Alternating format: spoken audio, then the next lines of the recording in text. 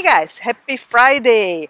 We are in Caldwell today and we wanted to see a house. It's a friend of ours, Nony, who is listing it for sale. It's a three bedroom house, but it's just huge, almost 3,000 square foot. The house was built in 1947 and it's on 10th Avenue in Caldwell on two acres. It has a huge shop and everything and we just briefly walked through. I haven't been to the shop yet so it's gonna be a surprise to me too.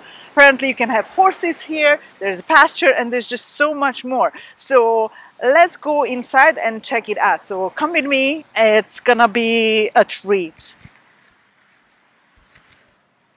So the house was built in 1947. I don't know if I mentioned it. And it's an all brick home and it's nicely updated. Honestly, I'm not sure when it was updated, but it's really nice and modern inside. Kind of interesting that you have a half a bath right at the front door, but I think it was an after uh, thought, you know, later. And as you step in, this is the formal dining room or the dining room. I really like the big windows everywhere. The office Look at the big windows. And even though we are on 10th Avenue, can you hear the noise? Because I cannot. Nice, big, formal office, windows, windows. And what's interesting, or I found it interesting, that they had the original hardwood flooring. They actually didn't refinish it. They left it the way it is, which is kind of cool. I actually like it and then they updated the flooring in the rest of the living area. Come check out that kitchen. I really like this. You wouldn't expect this from a house that was built in 1947. Beautiful white cabinets and granite counters, all stainless steel appliances. I like the dishwasher being elevated. Looks good, huh? Has a corner pantry behind you, Isaac, but don't worry about it. People can imagine what a corner pantry looks like. To the downstairs, this is where you go down, but we're gonna go and check out the rest of the main floor first. So follow me. By the way, to check out that patio in the back. I actually really like brick houses. You know, I am from Europe and we don't use wood for building other than, you know, cabins in the mountains for like weekends and all that. But we use brick. So I kind of feel home in this place. Huge living room. And again, you have the big picture windows. It's more like a ranch style home with the basement, full basement. And I really like that piano, although it's probably not included in the sale. I shouldn't say that. You never know, right? Everything is for sale for the right price. And it does have a beautiful wood burning fireplace. You know what I just noticed? There's no TV here. TV is downstairs. And then the hallway, and there are two bedrooms on the main level, the master, and the same thing. If you look at the flooring, they didn't refinish it. They just left it patina. Is that what it is? I like the colors. It's that gray color with a little tint of blue. It's a queen size bed, right? Nice big bedroom. Updated doors everywhere and woodwork. Double vanity. Really pretty.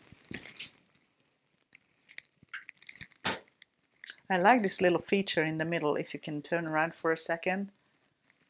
I'm curious how deep they are. Oops, not very deep. But it's cute. Oh, a heating lamp. Big bathtub behind, tiled, and then the throne. And they even have a nice little linen closet here. Okay, so closets here too. That's what I like in the older houses. There's a lot of space for putting your stuff. And then the second bedroom, I don't even know, it's a, probably about a 12 by 12. I don't know, it's big. A queen size bed, and look at all this room. Nice big closet. And the walls are nice and thick. This is the downstairs, and if you are five foot four like me, even with heels, you can make it. If you are much taller, mm, you better duck. Hallway, and it's really, really cold down here. Um, this is the bonus room. And another wood-bearing fireplace. And the TV. This is big. You can watch some cool movies here, huh? Closet, closet, and then the downstairs bedroom with a smaller bathroom. It's just a little shower, sink, and a potty. And let's check out the garage. Little breezeway, nice, and a two-car garage, and that's brick too. It's nice and toasty, but it's fully finished and has insulated garage door. Okay, next. Okay, so we are out in the patio, and again, keep in mind, 10th Avenue, kind of noisy, but you are on the patio, and it's nice and kind of quiet. All you can hear is the air conditioning running. There are two accesses to the house, it looks like, one to the dining room and one to the hallway to the bedrooms.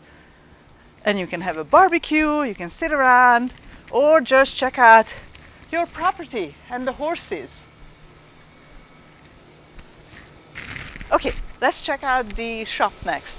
The shop is 42 by 58 feet. Nice big shop. There is plenty room to park whatever you want to.